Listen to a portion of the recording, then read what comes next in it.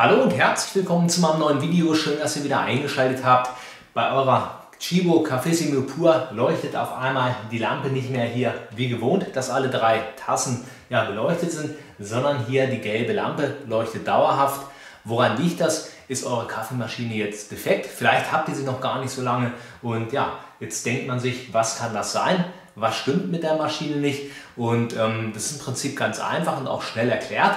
Die gelbe Lampe leuchtet, wenn die Kaffeemaschine entkalkt werden muss. In der Regel ist das so, wenn ungefähr 50 Milliliter Wasser durch die Maschine gelaufen sind, dann gibt die Maschine an, dass sie entkalkt werden muss.